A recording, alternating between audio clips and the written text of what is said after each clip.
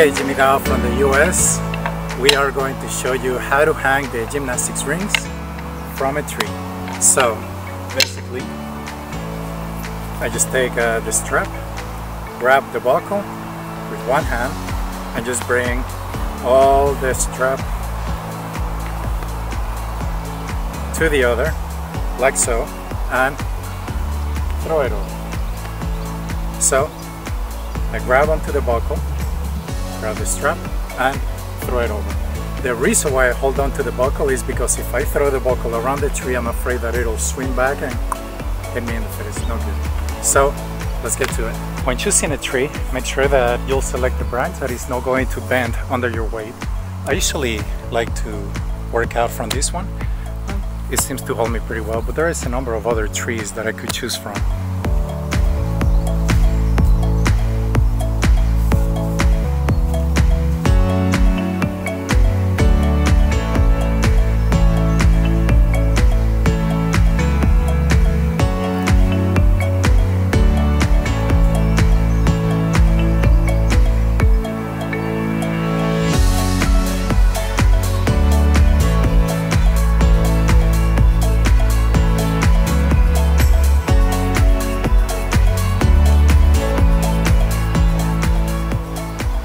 Jimmy, now the rings.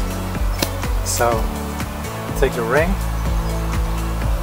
put it on my arm, bring the strap inside like that, right? And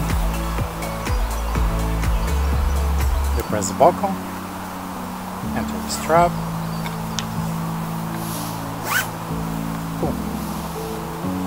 Simple. The other one, same concept. Take your strap, put it on there, take your buckle, press the latch, enter.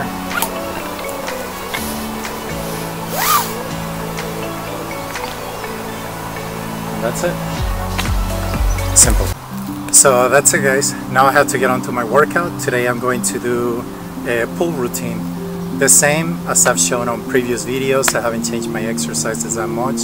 Uh, the workout is still effective and I am still feeling it. Uh, someone left a stone here in my workout area. Uh, usually people come to say hi. So apparently this one says uh, smile every day from uh, Powen School. So thank you guys. Uh, I always say hi when you guys walk by.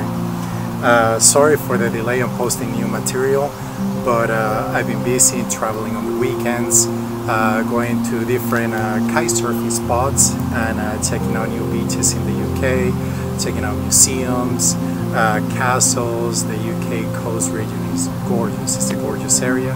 And right now we're taking advantage of the sun and the weather to go kite surfing as often as possible. Bye guys, see you next time.